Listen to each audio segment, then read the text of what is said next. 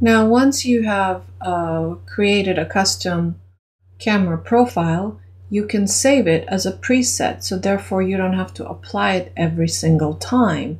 And in fact, you can save a few other things uh, or settings as a preset if you find yourself using the same type of adjustments. So here is an image. Uh, so select your hero image. Here's the image that I applied the uh, new profile and I'm going to go ahead and check my detail and make sure that my sharpening is applied the same.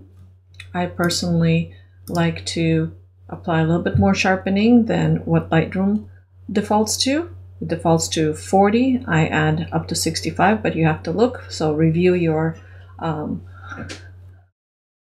Canvas video on sharpening. So I have these settings set up and I'm going to make sure my lens correction is set as well. And yes it, it is. And um, I usually also reduce my highlights for the most part. So I'm going to reduce my highlights by about minus 25 and I usually reduce my saturation by about 7 um, and that is all that I'm going to do for this preset. So I'm going to go ahead and save my preset. I'm going to Look over on the left hand side, click on the plus, create a preset. Make sure you give it a meaningful name. So I'm going to call this my 5D master preset. 5D Mark 3 master.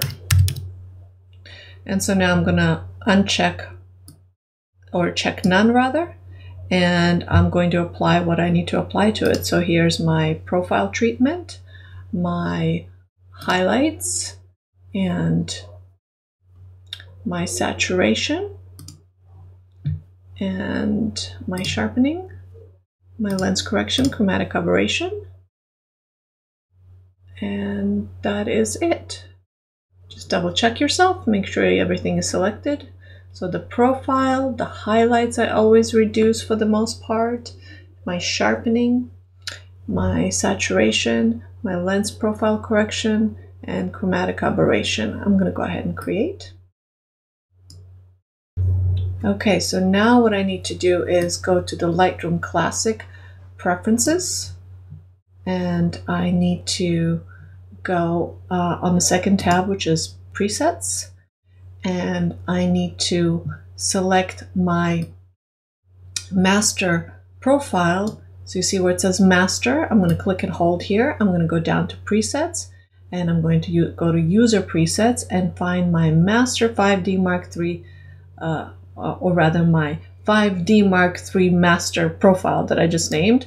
Too many masters.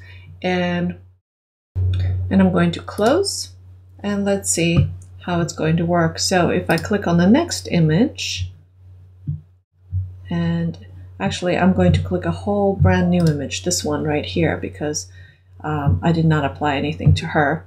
Um, so as soon as I click on reset, you see, I have my 5D Mark III and all of my settings, it's minus 25 on the highlights and it's minus saturation and so on. So now this profile will be applied uh, to everything that I bring in from this camera. So when you choose to import images and as long as it's from the same camera that you just profiled, instead of hitting the reset, you won't have to do that anymore. It will just come in with the settings applied.